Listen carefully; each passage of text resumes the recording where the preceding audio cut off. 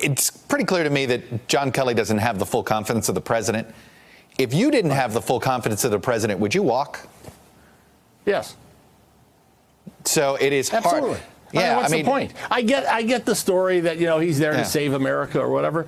But come on, let the president have let's let the president have someone who reflects him. Now, if John Kelly uh, is agreeable with all this craziness, then he ought to embrace it and and uh, and love it and and defend it and uh, go further with it. Hello, YouTubers. If you're watching this, it means you've checked out our channel, so thank you. Now do me a favor, subscribe by clicking on that button down there.